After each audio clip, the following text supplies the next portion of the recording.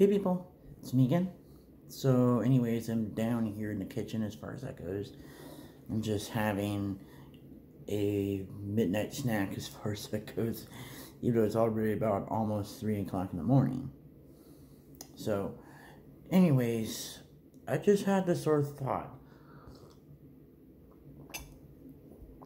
about a lot of things there. And I think one of the things here is there's a lot of people that are like insecure with themselves and don't know how to deal with their insecurities.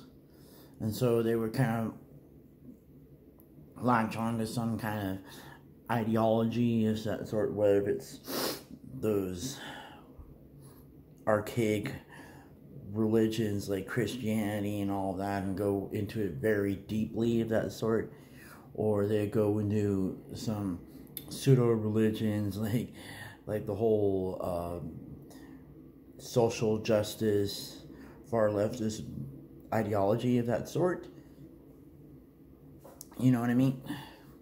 And then others, it's really more or less by tearing other people down in some ways. In that sense, you know, there's all these stories of on Reddit of dealing with entitled parents or or people of that sort, you know, and especially if they had parents of their own that were like that, that belittle them in every way in turn and all this sort of stuff. It's simply the fact that they're insecure and couldn't deal with that sort of thing. And then there are certain people, you know, that they're not necessarily belittling and all that openly, but there are some that's just more of a covert way of belittling and all that. I think I never really totally saw it, but I think I saw it maybe some point or another when I was in my teens up until my 20s at that point there were people that were like that that were solely trying to unravel me or, or all this sort of shit like that, you know.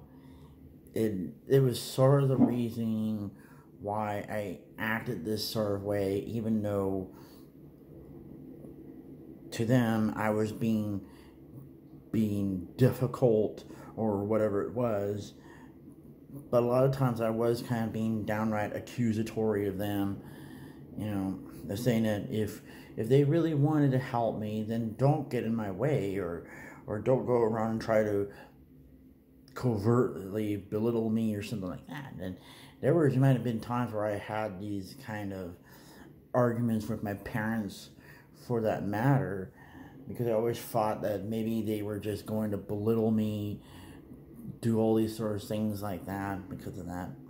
Even though it wasn't necessarily that way entirely. But as far as that goes, there was just certain times that I just wanted to be left alone. And I just did not know how to sit at the time that I just needed my space, needed to be left alone, and that they just wanted wanted to understand that sort of thing. And a lot of times certain people just don't get that. You know. You know what I mean? And so there were times that I might have um, bitten their heads off or whatever it is, you know, when I just simply just wanted my space and just wanted to be left alone and and that sort, you know. But I think when I look at it this way, there there were certain people that were like that that only taking that kind of position and being in, in special ed or a psychiatrist or that sort because it's easier to be in a position of power rather than dealing with their own insecurities of that sort. And it was like that one case about that that uh, uh, what was that guy's name? He was the one that ran off with a girl I think it was sometime last year or two years ago, and someone had stated that, well, he was only a doctor simply because he wanted to have a, a position of authority of that sort. and simply because he was insecure with himself. And it was sort of the same thing when he was trying to exploit this one girl there and had him ran away with her and all that because a, a lot of those people that are like younger don't know about that kind of stuff there. And to tell the truth, I mean, I kind of also knew that there there were people that were going to try to do that. I just I was always been kind of overtly cautious of that sort of stuff because of that. You know, because the same thing there, you know, you know, with like my parents, you know, who, uh, I mean, they could say this sort of stuff there, but how would I would know if they're not going to go around and do the very same things that they warn me about, or the same thing with those teachers and all that, you know, or uh, those psychiatrists or psychologists of that sort, because they have that position power and they can abuse that position of power just like anybody else. You know. But as far as that goes, it's just something that a lot of people who were in my position have a hard time reconciling that yeah certain people could do harm but then most of everybody isn't really that way, you know, and it, it took me a long time for me to to reconcile pretty much 95% of all that sort of stuff. I mean, hell, it's sort of the whole reason why I kept talking about a lot of the things when it came to adult transition back in the day. And it was mainly because of that. The fact that they didn't know how to help me of that sort.